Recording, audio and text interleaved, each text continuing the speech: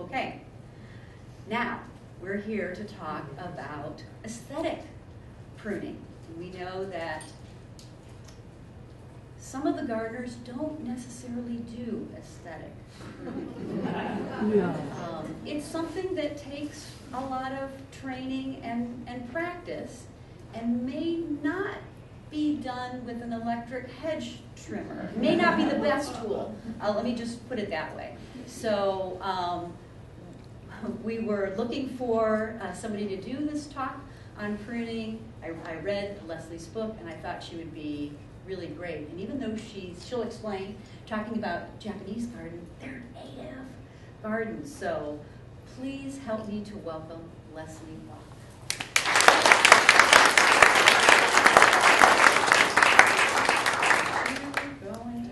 Curious. Can people hear my voice if I talk?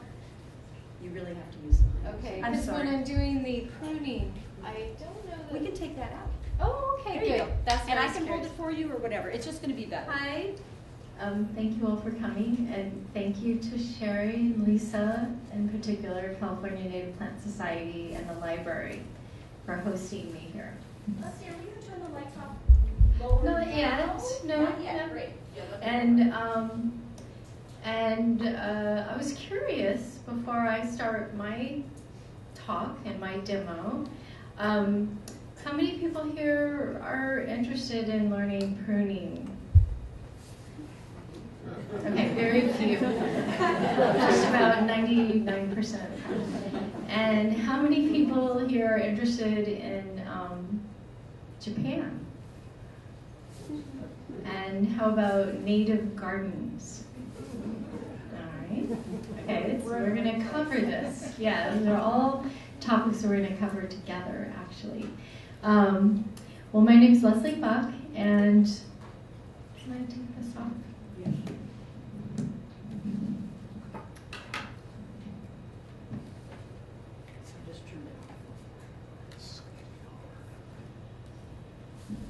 Okay, and this is, you'll see me up here pruning. I like to have this as I'm doing my intro, because this is my normal um, outfit and what I do during the week. I don't normally write or give lectures, I'm out there pruning. And um, all over the Bay Area.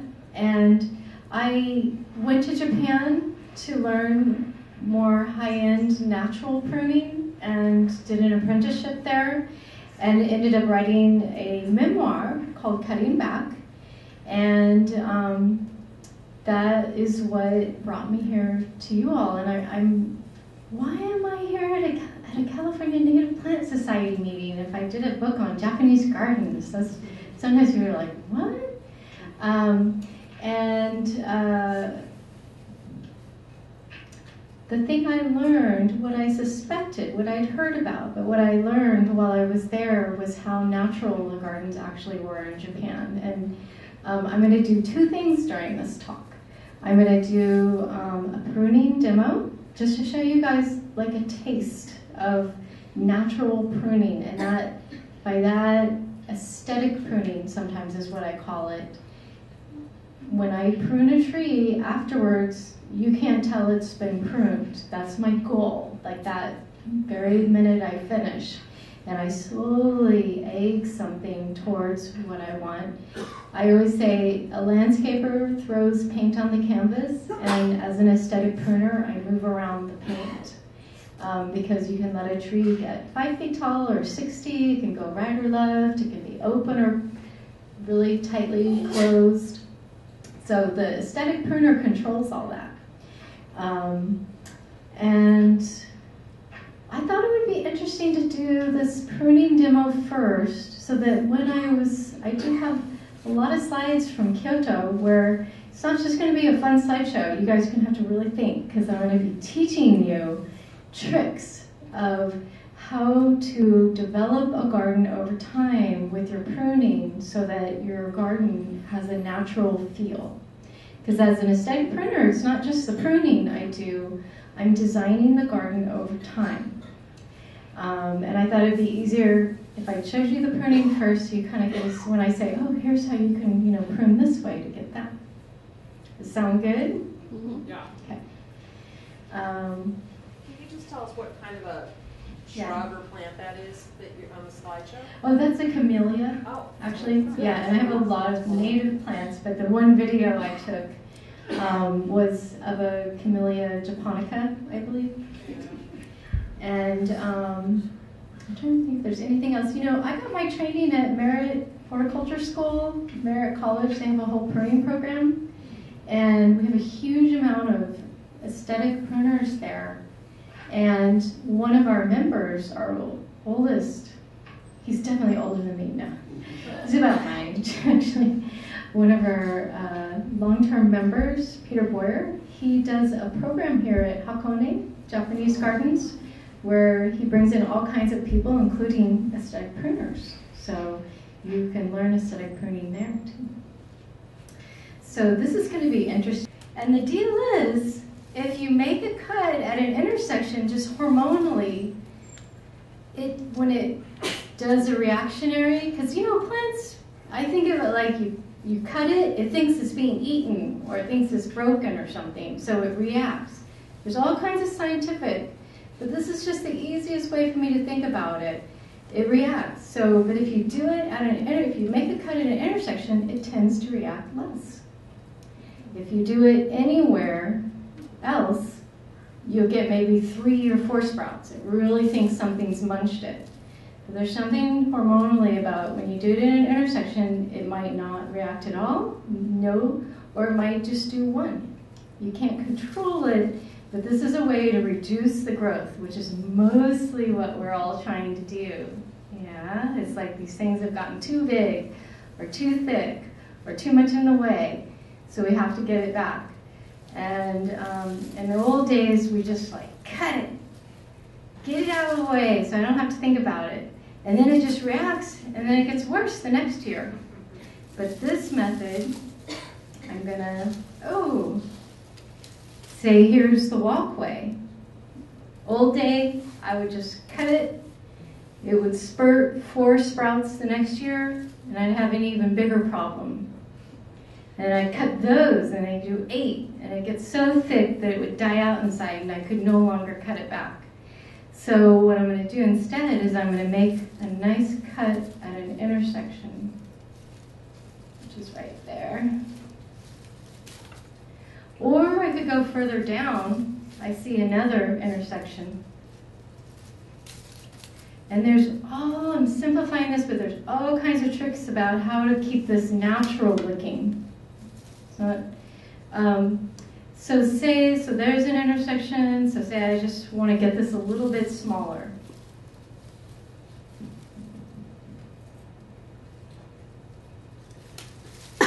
intersection, intersection, intersection. Are you planning how much of the stem is, is sticking up when you're doing that at the intersection? You know, the Oh. little stub or the Um, collar? How much you're leaving. Yeah. uh, what was the question again? I think she's asking, are you concerned about how Right. much you're leaving? The Am stuff. I concerned about how much stub I'm leaving? Oh, right, no stub. Yeah, that's very easy. I never leave a stub big enough for a mouse to hang its hat on. That's a mouse hat. But there's a tiny bit left, but not big enough. It's very easy. My Japanese friend, she goes, who's a pruner, Yukinara, she's, did you just say big enough for a mouse to hang its hat? um, it's funny. Can you guys see that stub?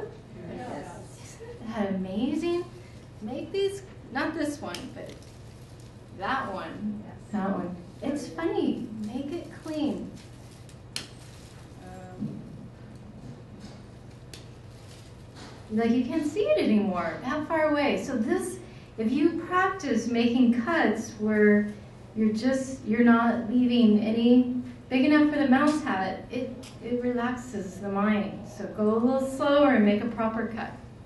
there's all kinds of tricks of how not to cut too far, but we're going to do the basics here, and then I'm going to tell you where to get more info. Um, so that got smaller, but you can't really tell. I pruned it. Yeah? So, a couple other quick, you know, I'm pruning coarse. I'm leaving fine. If I had to keep going, prune coarse, leave fine. So next year there'll be more fine, and I'll prune the coarse. And that's how you keep it small. You're doing these thinning cuts, but you're always pruning coarse and leaving fine. And that way the plant is always has this nice fine growth on the outside. Is that clear enough? Okay. No, I'd like that clarified. What is coarse and what's fine? I- Yeah, anything that, like, if I have to decide between pruning this one or that one, this one's thicker. I'm having to decide whether to prune this one that's actually taller or this one that's shorter. But this one's thicker. So if I prune that, then next year there'll be something fine and this will become coarse. And each year we'll keep going because when you look at any tree in nature, like right now I've maintained the outside being fine still. Every single tree you see in nature, the outside is fine. It's always fine on the outside. I don't care if you end up having to go super coarse or super fine if it's hidden, you know, because as long as that outside looks fine, I mean, it'd be better if you're gradual coarse to fine, if you're graceful, you know, that's always better. These are all, I'm going really fast. but, um, so I always want that outside to be fine. And that's why we say, oh, we don't like hacking.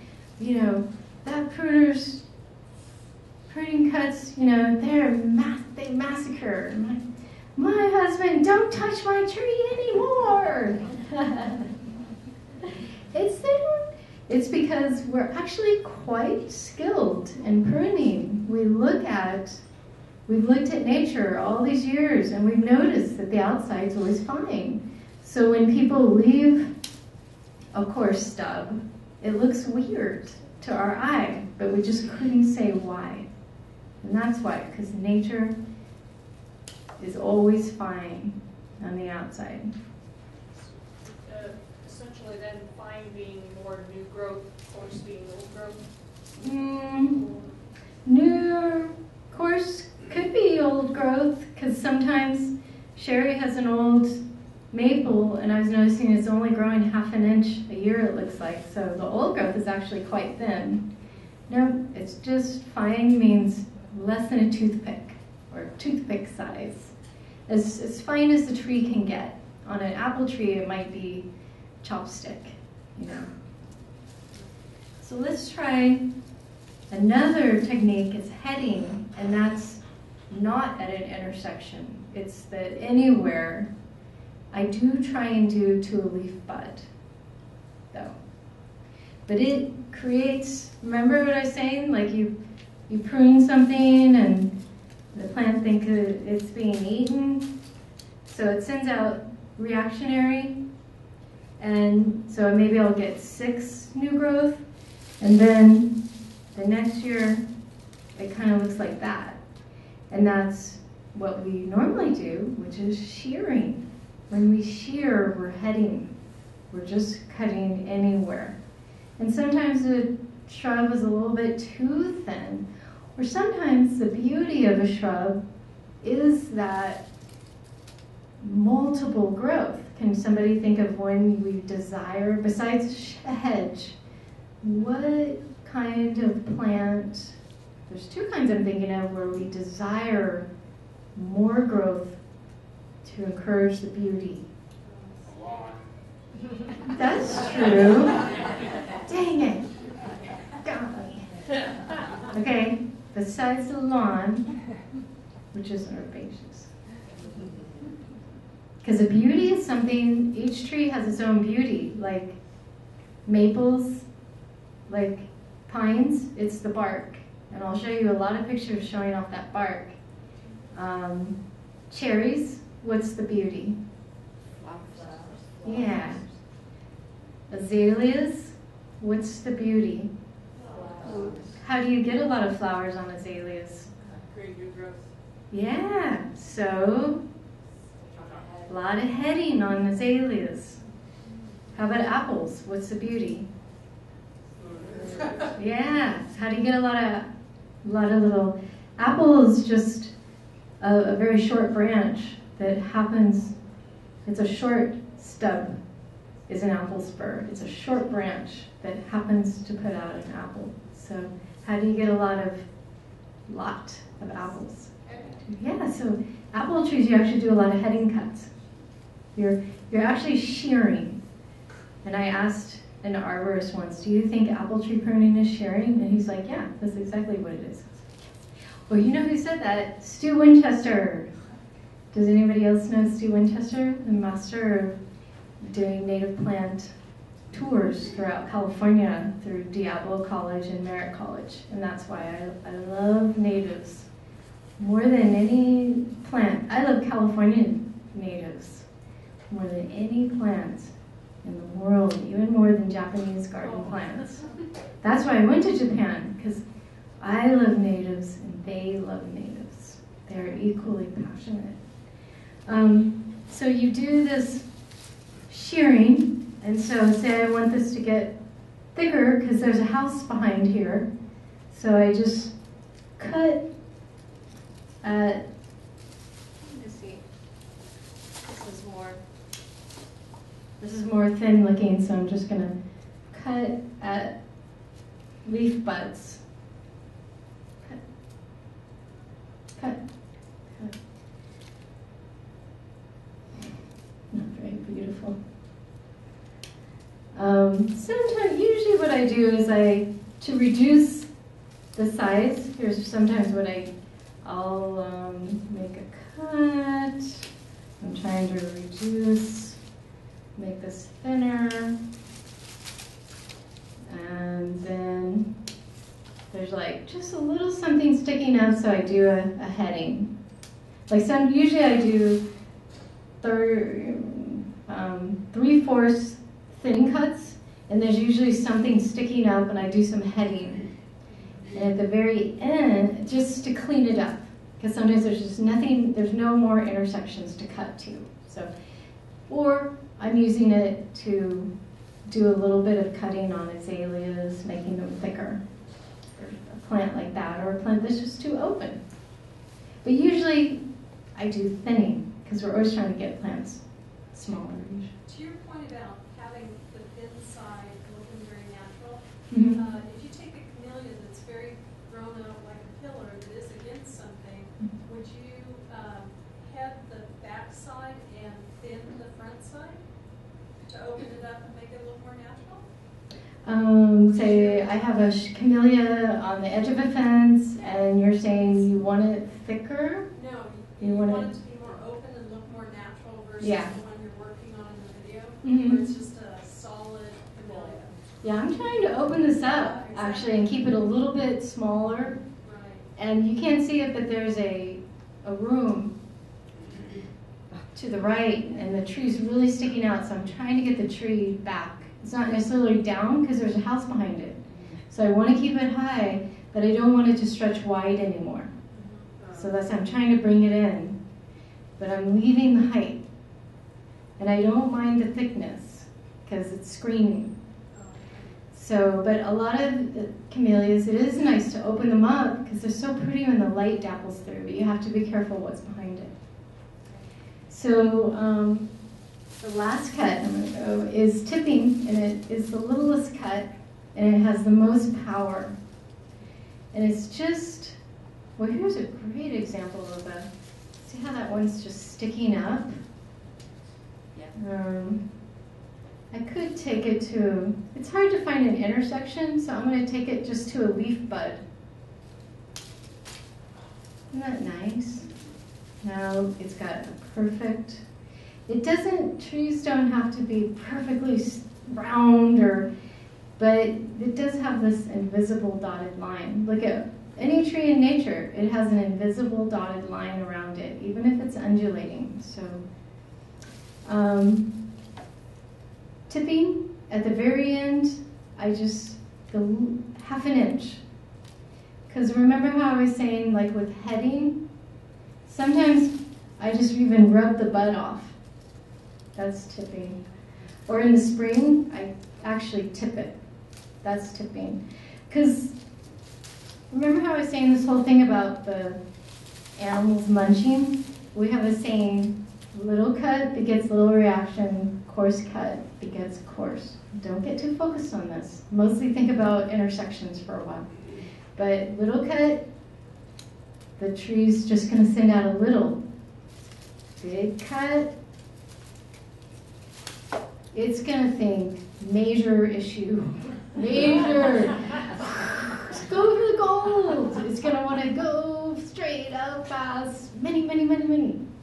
So if I confuse the plant, like I make all these cuts, and at the end I just, you know, I make all these cuts, usually, and then it starts to react and it sends out shoots. And then after a couple months, I tip those because it's like, oh my God, something ate me. I have to grow, I have to grow. Like, doesn't that make sense? This is kind of what it's doing. It's not thinking that, but but then I tip it. I just do a half inch little, and it's like, hmm?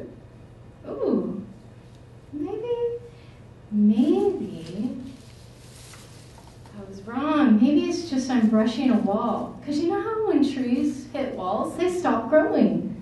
The wall, it's being tipped. When the wind hits it, it stops growing. The wind's tipping it. These are all examples of tipping, and that if we had tons of time and we just tipped, our plants just wouldn't even grow. You know, they stay exactly where we want. But sometimes we don't have time to do all that, so we make the shortcut, you know, we do bigger cuts. And then we follow up, and I'll often just do a little tipping. So those are the three cuts that I'm going to show you. I'm teaching pruning at Green Gulch next weekend for a whole day. And um, I also teach at Merritt College, horticulture school, and like I said, there, there are actually pruning classes at Hakone. Not many people can attest to having an aesthetic pruner in their very town. I mean, there are no aesthetic pruners in the United States, hardly, except you know, our area has the only school in the country, except for Portland just started a school, Portland Japanese Garden. So it's special, and this is all about natural pruning that I'm talking about. So I'm going to show you some photos of my adventures in Japan and in a way prove to you why Japanese, if we're interested in native gardening, we should be studying what the Japanese are doing and teaching us because they are the masters of native landscaping. We have so much to learn from them. And we're also afraid of them. We don't, we're totally misunderstanding what they're doing here in the United States. Um, but I'll keep going. Let's Yeah, lights. And any questions? No? Yes. Feel- Please feel free to ask questions as I go along. I will be looking. Does your book describe these steps? So, does my book describe these steps? No. I wanted to do an addendum. that might have to be another book. I'd like to go around and just do pruning classes everywhere. Um, because it's there's so much need for aesthetic pruning.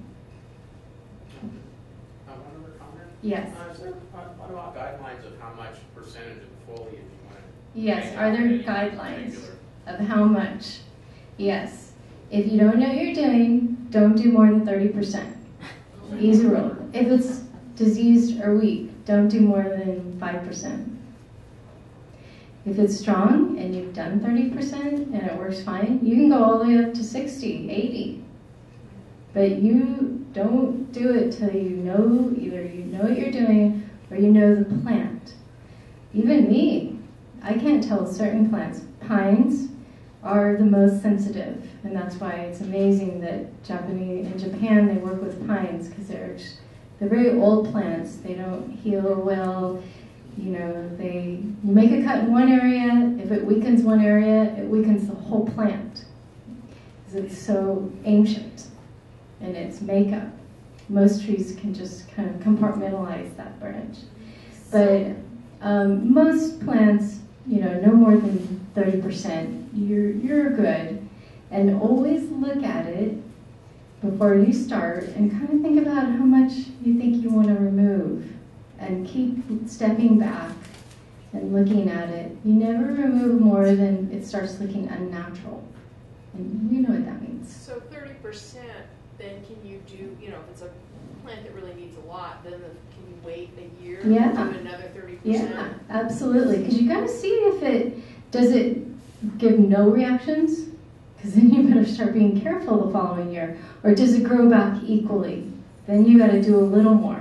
So I'm more interested in what the reaction is than what it looks like when I first get to it.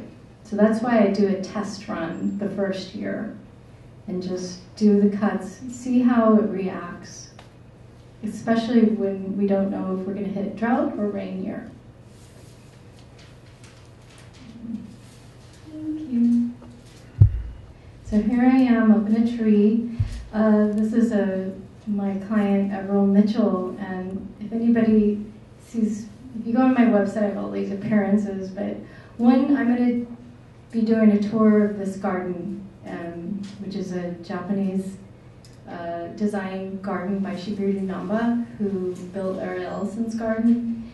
Um, so the Aesthetic Pruners Association is doing a whole tour of three different gardens, and one of them is this one. So you can come see it. It's a really cool one. Has some natives. I've been trying to get get natives in there. Portland Japanese Garden uses natives about a quarter, 10 percent.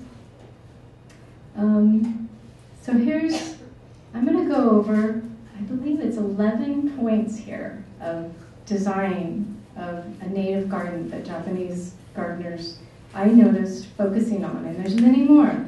I'm a pruner, so I design gardens over time, but I don't do design installation, so there's much more than what I'm saying.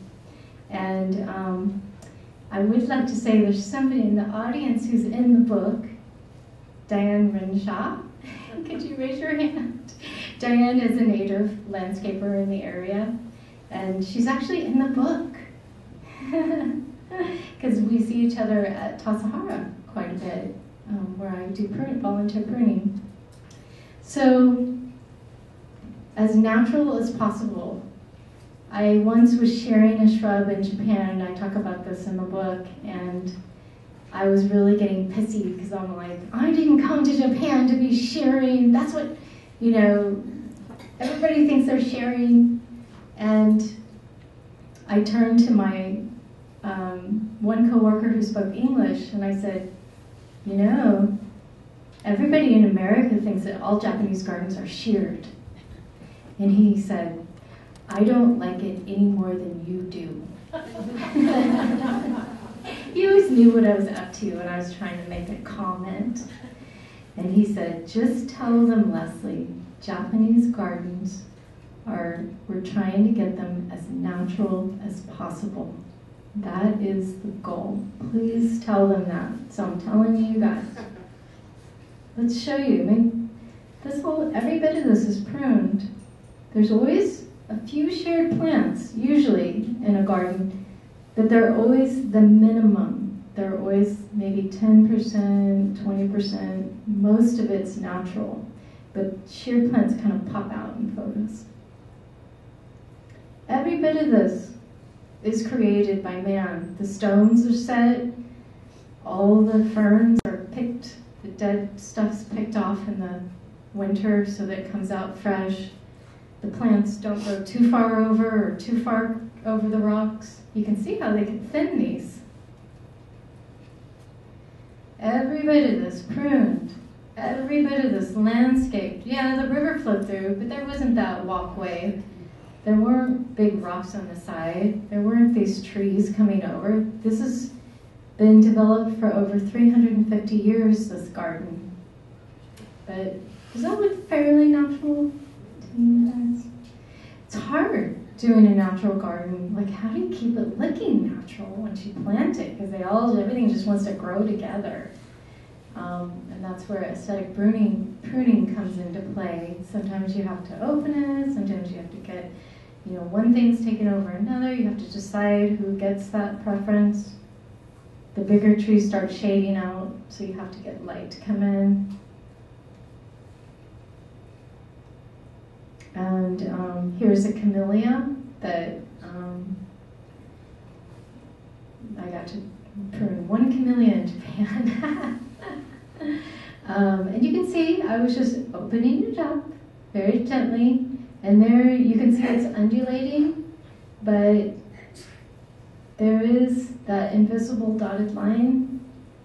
It was about a foot and a half taller, and mostly when the gardens in the private homes, the trees are mostly kept about 15, 20 feet tall max.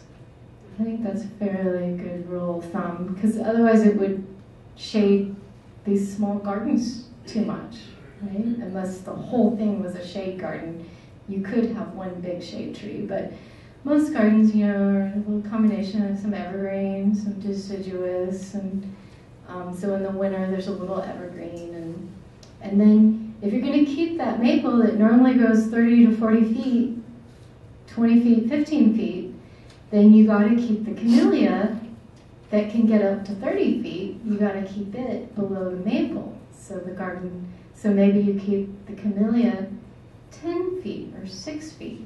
And then the azalea, which we all know can get up to 4 feet, you got to keep it 2 feet. So if you're doing a native garden, same thing. Coffee berry can get up to 20 feet, and the um, red bud can get up to 25, 30. I've kept red buds about 20 feet, and then maybe a coffee berry. Let's see, at the Green Gulch um, Tea Garden, there's some coffee berries I was keeping at about four, my height. Hmm, four, five, five feet. Um, and then the manzanita, you know, maybe that has to be a little bit lower. Now, I'm not saying that every manzanita should be kept here and every coffee berry. I mean, I have coffee berry in my garden. Some of them I'm letting them get 20 feet tall because I want to screen from seeing the house. Other ones I'm keeping only three feet tall because I just barely want to screen a hammock, but I want you to see a tree behind it. And so, but every plant is in perspective with the other. You don't just let it go and then hack at it if it's too big. It's like you're really thinking, where do I, you have all this control. I mean, it's a, it's an incredible options once you know how to do pruning. Will you get a chance to mention what seasons to prune, you know, like for instance, camellias This is, yeah, what plants? Merritt Horticulture School, they have like mm, one to two classes a month describing all this. and it took me about four years to learn everything. I mean, it's, it's, it, there's a lot. Um, but native plants, it, I can pretty much, I hate to say it, but I pretty much prune it year round, like when it needs it which is generally late spring or late summer because that's when it's done its thing. But if I don't have time, I could get to it in winter. I just hope I haven't killed anything off by waiting. Only Japanese gardens, there's certain times you just don't want to open maples in the hot when it's really sunny. That's like a very specific one. Um, also, if flower buds are developing in midsummer, well, so you want to prune it right after it blooms so that you prune it quickly and then whatever develops becomes the next year's flower buds. So that's another one. So the, does that, it kind of, But in general, I like doing native gardens because I can do them more year round. There's a lot of evergreen manzanitas I can do twice a year, right after spring. Do that, and then they do this one more growth that's really straggly, and I just I do heading cuts of that because it's not like the spring growth is everything. Do thinning cuts back, and then in the summer it does just these whips, and I just head those back. And keep it fairly natural looking. In fact, I've opened up manzanitas that have been sheared for years and years and opened them. I saw another question. Here's another. So I was just showing you some examples of how the gardens. Now, still, why are we doing Japanese gardens here? We're a native plant, but something about these gardens is very particular. That is goes with why we are here for native plants. Can anybody tell me what's particular about all these gardens I've shown you that you don't see in the United States? That 100%, maybe 98, 100% of their plants are native to Japan. Almost always, when they do gardens, they're only using native plants to, to Japan. We don't do that here. We just use every plant under the sun in, in America. Um, and they tell me, Leslie, don't, when you build a Japanese inspired garden, which is really just a garden that has a feeling of nature, that has, it's not necessarily a copy of nature. Sometimes it can be a copy of a slice of nature. If you, if that helps you, just copy a slice of nature, like that scene with the red bud and the manzanita and the huckleberry. But it's more the feeling, it has the essence, the feeling of nature. Because um, nature's not always going to look that good. But maybe there's certain spots that have been there so long, they're just settled. And that's the nature we're seeking. They say, don't copy our nature, use your own. I've heard this from many Japanese gardeners. I mean, they all think it. It's just some of them say it. Um, in their understanding, even they go, Kyoto, people outside Kyoto try and copy Kyoto forests. It drives us crazy. They should, they're in Osaka, they should do an Osaka garden with some palm trees. If they're near the water, they should do gardens that reflect the waters. If they're in the mountains, they should do gardens that reflect the mountains. If you want to do a mountain garden, go to the mountains and find some scenes.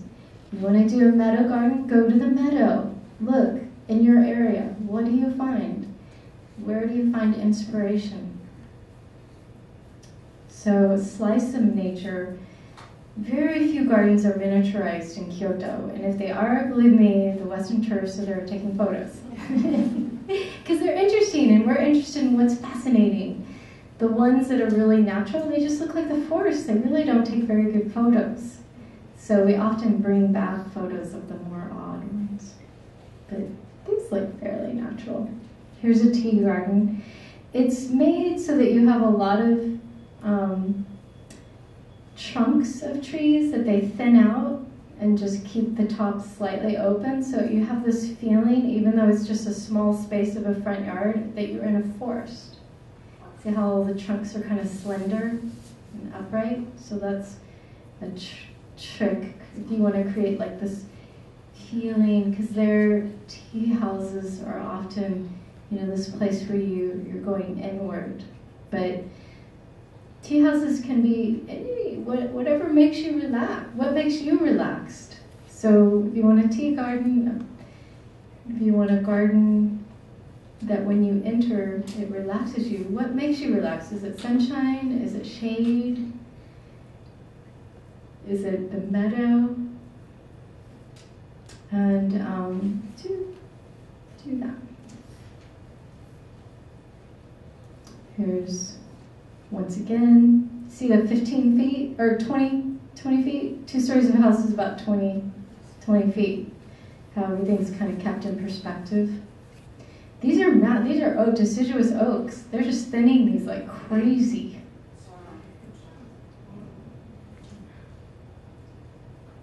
Once again, you know, just some tree trunks and a couple of shrubs.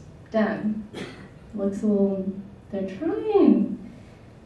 Okay, finally native. This is my garden. I'm trying to do. A, I'm practicing doing a Japanese inspired garden in my backyard, and I'm on the Bring Back the Natives tour, so you can come see how I'm doing after a couple of years. I got my toyon to block the neighbors. I got my coffee berry going, and I got some little huckleberry shrubs that are going to take a lot of time to get taller. Um, and I thought, what is relaxing to me? And what's the relaxing spot? To most Americans, we don't even know our nature anymore. And I was like, hey, the campground. Almost everyone knows the campground. So I thought, I'm going to make something that's the essence of the campground because it's so relaxing to me. So I'm playing with this idea of what's a relaxing. Because it is, the Japanese gardens are, because you know when you walk through the forest, it gives you that time to, to think or the time to talk to a friend or maybe the time to pray or to get inspired. It gives you space to do what you want. Well, that's what they're trying to do in these nature inspired gardens we call Japanese gardens. To them, they're nature inspired gardens. It's a place where there's room for you to think. It's not trying to do miniaturized little hedges that represent the mother, the father, you know, the, the animal. No, it's just supposed to look like nature, so you have room to think how you want to think. Those are more authentic. This was in Arkansas. Does that look pretty natural to you? Every rock was set by David. He did the water. He did. He uses native plants. He's a master. I wanted to show that because mine is so pitiful. My attempt. This is somebody who studied in Japan, you know, um, many years and has come back. And he's one of the best uh, landscapers in the United States. He's in the Midwest, and he's done. Um, if you go on his website, he sells an incredible video on thinking about going to nature to find inspiration to build our local native gardens. And he has always tried to encourage us to look at our local plants. And he's okay with using some others, you know, being not too strict, but mostly. Here's a native garden that I pruned that I'm just playing with, keeping shrubs and trees to block the neighbors. But he loves biking through on this path, so we kept the path nice and open. I must have spent an hour on that grass because there was so much dead and going into the path, so I was pulling it back, but it still looks natural. Every little plant was pruned in this garden. Yep. Is that kind of bush in front of the door? Probably, yeah. I think so. I love pruning coyote bush. So underrated. All you do is clean it out and, do a lot of heading because it tends to get straggly. It actually, I like to head it. And it has this beautiful open forms. Such a bad name just because, just like manzanita, you just clean it out. This isn't like if you have a painting that's got dust all over it, it just doesn't look the same as if you clean it. And in nature, the wind would have cleaned it, the fire would have cleaned it. It's not like we're doing something that's unnatural. We're just speeding nature up a little.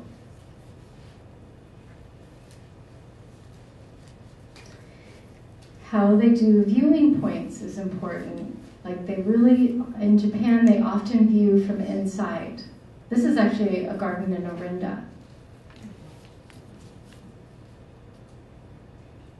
They're, you know, have these rooms where you open up. Now, this has got a lot of sheared azaleas.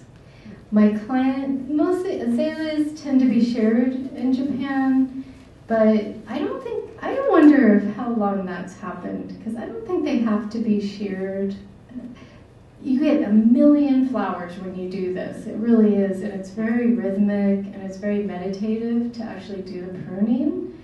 Um, but if you looked, if you were sitting there, you'd see the whole garden is completely natural. But you take this shot and it looks like the whole garden is sheared. I was a little afraid to show it, but I just wanted to show how I love the way the Japanese can look from inside. I want everyone to go to their homes and what we we so cut off our gardens from inside. Like what we only think of looking at the garden when we're outside, but actually, if you think of looking at the garden from when you're inside, you increase the size of your room because your room gets bigger, and you increase the length of time you get to see a garden because we're often working hard and we don't have time to go outside.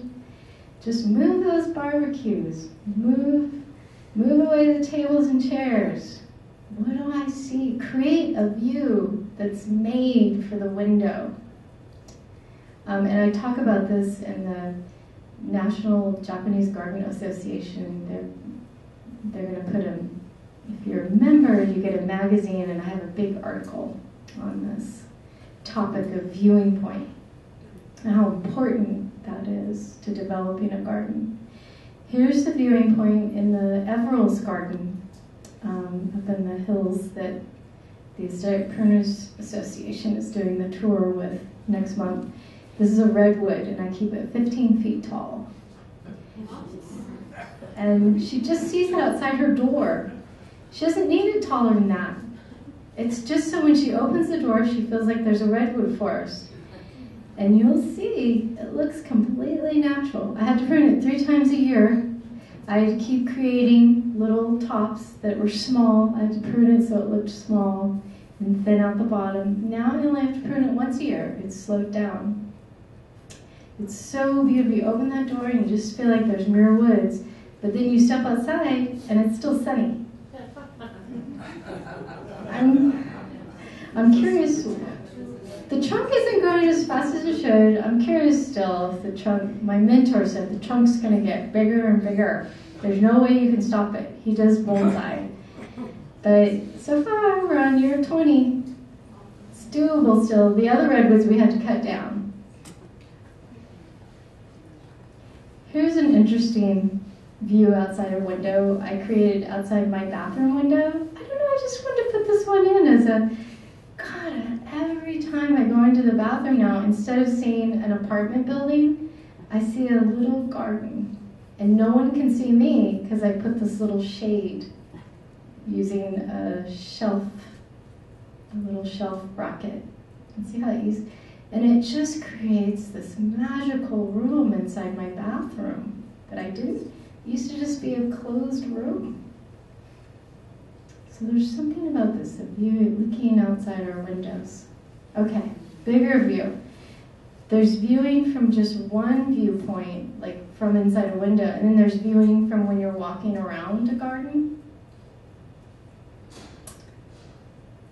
And I wanted to make sure we have till 7.30, or No, well, it's eight now.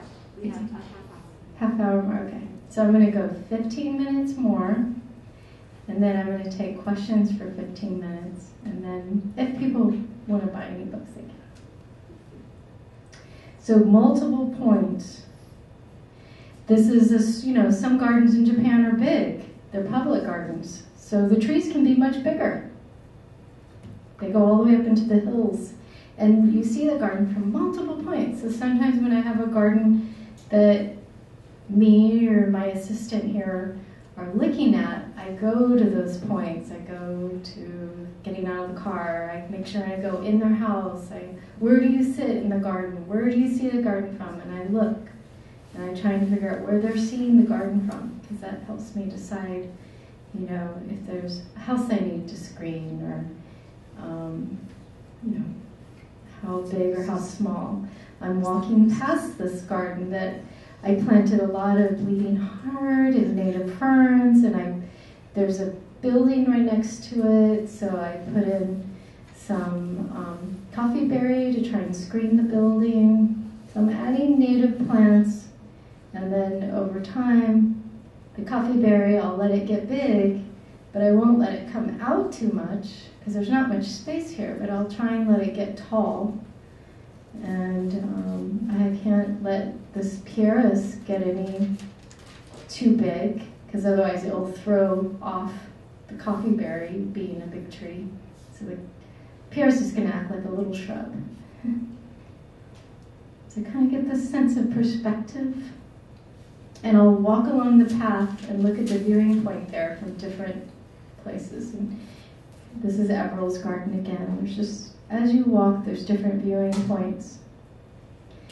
One trick the Japanese use, I noticed, they don't just do random flowers. They only do flowers if it states a season. Season is what's important, not multicolored year round.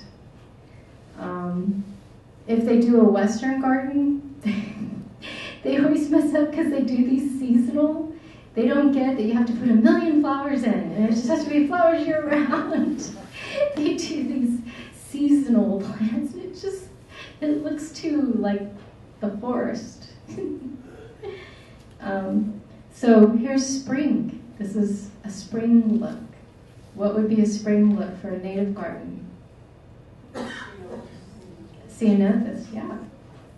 Summer. Here's the summer cherry. What would be summer for a native garden? Sticky monkey, yeah, all summer. And fall. Well, in Japan, it's fall color. What happens here in the fall? Not necessarily. I mean, sometimes fall color, but Oh, berries like toyon. yeah, the berries. Yeah, and sometimes it's, we're green. We're still green. We're not fall color. We have to think, what's our fall? Winter. There is that deciduous and the beauty of the bare branches all um, they're exposed and um, some, I guess it's somehow sensitive. It's showing definitely the pruner, if he's good or bad, it shows up in, in Japan. So we always say that's when you know who's who. But here, it's most, what is it here in winter? What is the look? The most green part of the year, right? So, you know, our seasons would be different, but we definitely wouldn't be having a million flowers, still trying to get flowers to come out, you know. It's more, well, yeah, spring we get flowers, but winter is green, green, green, more lush. So just start looking. What is it you love about each season and bring that out in your garden? Have you ever, does anyone grow um, buckeye Yeah. garden? I have a, the Japanese garden with the huge, huge window that has a big buckeye. It's great because it gives sunlight to the Japanese pines just when they need it every year. But it's tricky. Buckeyes, they have that beauty of age. I'm so glad you mentioned this because Japanese love to show off age in a garden. It just has such depth, poet, poetic beauty. Um, and this rotting stump, and then this little branch is trying to keep it going. I mean, that's just so beautiful. It's so, if you just had like a little new coffee berry there, it just could not compare to this tree trunk.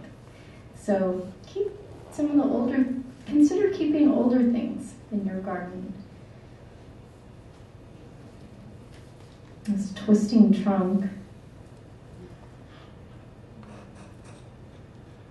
And this ugly cherry that looks like it's on its last breath. Look how beautiful it is. They just cherish some of these things. I mean, you don't have to keep everything. I'm always like, somebody asked me to prune the dead wood of this old apricot, and I was like, cool. Um, I did 30%. You know, I'm like, it looks like haunted house look. You don't want a haunted house look. You just want the best decaying branches. it could even be a s- a object that has this age. Because who's stood under this? Who's used that boat? It makes you think about all the people that have been there before you. It makes a depth of time in a garden that's not there with the new maple and the new cherry. You know, everybody wants to start over. So it's just that age is something else. Depth perception, I'm going. Um, there are these little tricks like putting stuff in the foreground. See how on the bottom right there's a table and chairs and there's this little plant? Like, usually we're like, clear the way so you can see the garden. But there they'll put something right in front. And it's just like the sketch I did where that tree in front makes you feel like the lake is so huge. Imagine if I hadn't sketched that tree in front or that little tiny kind of old young tree trying to grow in the sketch that cover those up. And it's hard to know how deep the lake is. So having that one thing in the foreground makes you have this depth perception. Sometimes they'll put a little thing in the background. This maple at the Portland Japanese Garden is actually just five feet tall, and you walk right past it. But they open it and they planted, I noticed, this little plant, little one in the background, and it makes this five feet tall seem huge. And see in the sketch that one little tiny sailboat? Imagine that sailboat wasn't there, the little tiny one in the background. The ocean wouldn't look as deep, would it? So they're using painting tricks in their gardens to create depth in small spaces. And you can too. Formal, this is just added little advanced formal versus informal. You know, why do they, if you have a frame, well, I once had my friend Kay in the book come visit, and I was trying to create a little Tilden Park in my front yard. and I had made like a little pond, and I had my little ceanothus and my redbud. And he spent four hours pruning a Japanese boxwood hedge to the right, where some trash cans were. And I was like, "What did you spend all that time on the?" He's like, "Hmm." And I was like, "Why did you do that?" And he goes, "Well, look now. Next to the clean boxwood, doesn't your plants look more natural now? And I was like, yeah, now I have something to compare it to. So that's why they feel they do sometimes sheared hedges and or formal architecture lines or like formal hedges. Um, I'll get to the other one. They it shows off how wild the other thing is. So there's a sense of formal, informal in their gardens.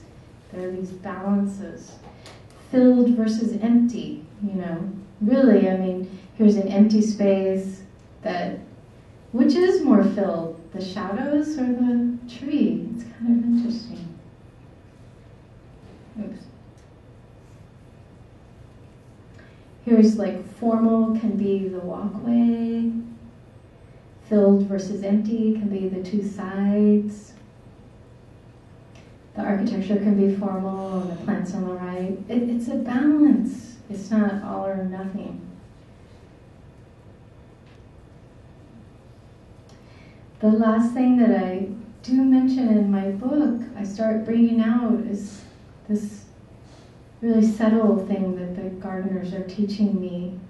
They never talked about heart or kokoro, which means heart, um, when I was in Japan. But as I was writing the book, I realized I was learning something about this that I heard about in Japanese garden conferences, and that I kept asking people about. What are you talking about? This is the name of the conference, and no one's talked about it.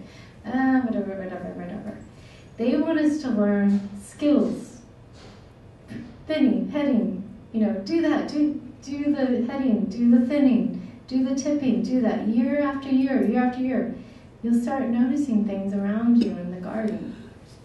It's just you'll, you'll figure out about this. And it's these are little three times a day we'd be served um, tea by our clients if they were home. And we can read about all this interaction I had with the the people, um, the homeowners, and it's them. Hey, you're working hard for me and my garden. Thank you. Really beautiful. Sometimes the finest pastry, sometimes Twix bars, sometimes Fanta there. I think for the American, and green tea for the guys. Check out what I found one day. That's in Japan. I was like, what's, who? Oh, that just made my day. Who are these mystical people? Ah, just a little surprise. My sister. She was so happy to be in Japan. It's about the people visiting these gardens. We love it. It makes our smile. It's about our interaction with the plants, about with animals in the gardens, maybe about meeting people in the gardens or me meeting my clients. I feel like the gardens orchestrate this for us. They bring us all together. And this is something I'm slowly, kind of, I'm slowly learning about in my book as I work. Because that's all they ask is just that we be in the garden, um, interacting, and things happen. We all know what those things are that are so special. Here are the guys, my crew. So I, in my book, I talk all about these characters, including Bossman. Never smiled. Two times I took a photo. Two times he smiled for the photo. Everybody thinks he's like the nicest guy on the earth. How does he do that? Uh, one of the female gardeners of Japan I met.